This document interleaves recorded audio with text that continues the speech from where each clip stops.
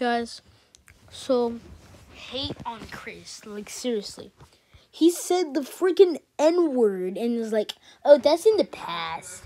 He is a freaking racist. Like, this dude's a freaking racist. Go hate on him. He literally said the N word and then and he's he said he's sorry so I can still be his friend. That's how, how that's how messed up it is.